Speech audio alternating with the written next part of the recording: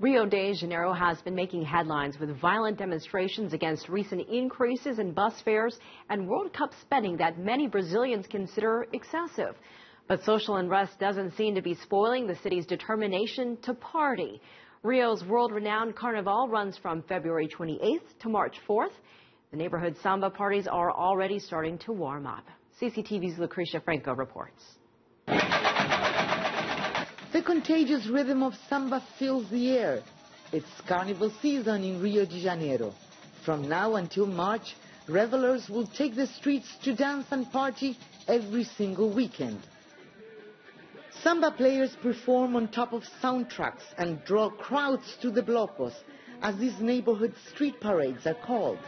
There will be some 500 events like this across the city, starting ahead of the official carnival holiday. For the tourism industry, it is the moment to show the best of Rio.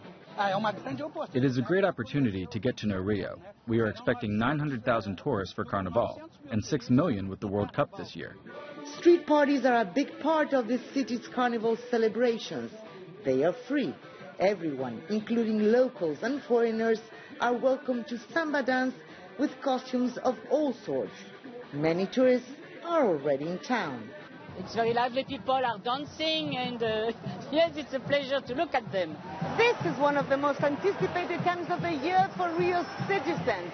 They flood the streets of dozens of neighborhoods with just one idea in mind to forget everyday problems and just have fun, do what they want, even if it's just for this moment.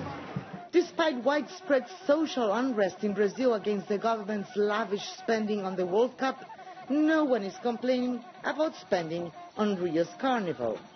So far, the show goes on, and nothing seems to be spoiling Rio's carnival. Lucrecia Franco, CCTV, Rio de Janeiro.